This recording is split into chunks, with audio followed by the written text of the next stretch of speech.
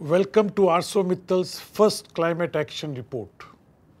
Climate change is a major challenge for our world, and ArcelorMittal is aligned with the Paris Agreement that aims to keep the global temperature increase to well below 2 degrees. This report explains how steel is made today, what our carbon challenge is, how it can be successfully addressed by technology, and what policies and support are required to make this possible. We have an ambition to significantly reduce our emissions by 2050 and we are in the process of piloting various technologies that have the potential to deliver this ambition. We see three potential routes. The first, which we call circular carbon, uses renewable carbon such as biomass in place of coke in the blast furnace. The second, which is based on clean energy, sees hydrogen used as the energy source.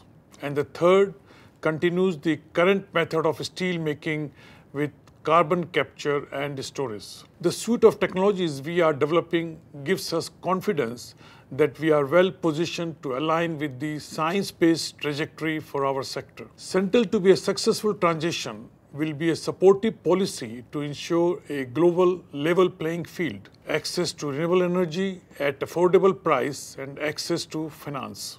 Materials are an integral part of modern society, human development and well-being.